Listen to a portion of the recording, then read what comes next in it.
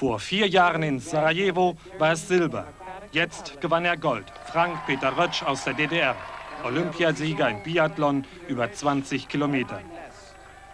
Dreimal, einmal mehr als der zweite und dritte, schoss Rötsch zwar daneben, doch in der Loipe war er so schnell wie kein anderer.